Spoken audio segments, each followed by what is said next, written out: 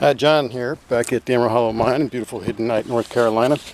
And I've been working on this vein, and here's some of the stuff that's, it's still cap rock, but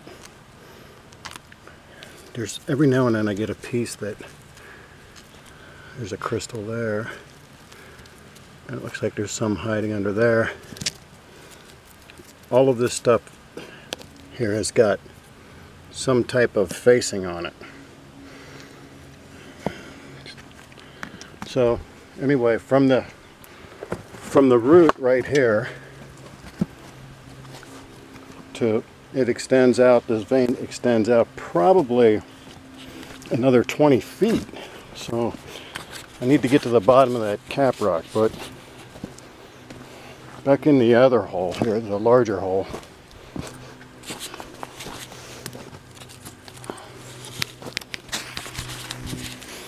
I have something in here that I'd like for you to see. Oh, look a little dusty there.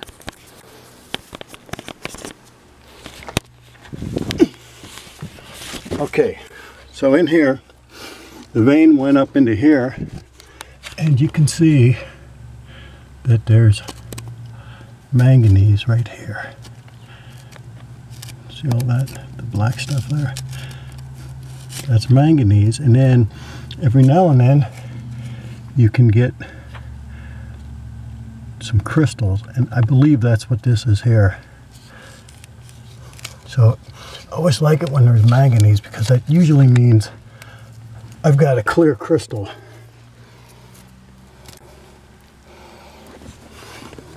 So let me, see.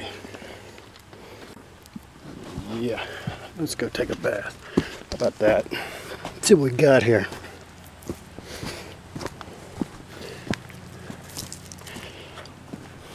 Okay.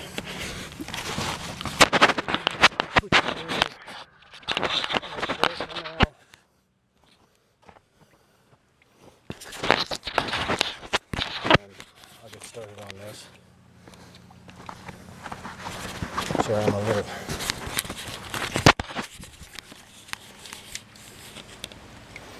So here's that piece that I just pulled out. Um,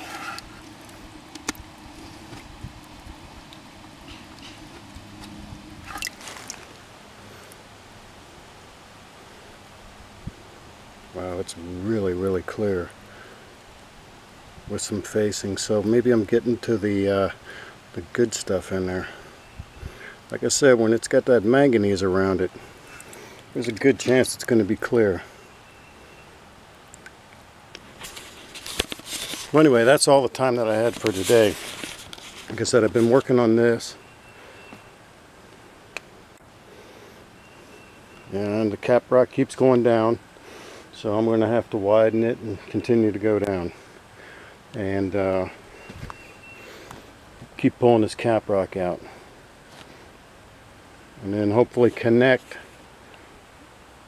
right there where that root stump is and all those roots connect that to the large hole and then just keep removing all of that. Alright, that's it for now.